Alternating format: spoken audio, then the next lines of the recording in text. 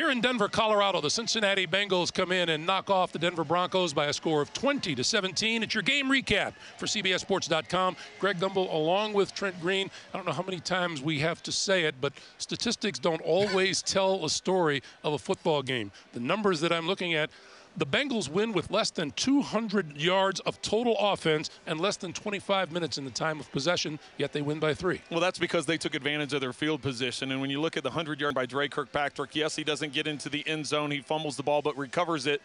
What were they able to do? Cincinnati was able to convert that for a touchdown. And then later on, as they got better field position, got the ball towards the middle of the field, they were able to get those into touchdowns. Took advantage of, of A.J. Green one-on-one with Roby and, and got the touchdown there. So because they were able to take advantage at those opportune times, I, they definitely won the three and out battle. They had a lot. They had a lot more three and outs than Denver did.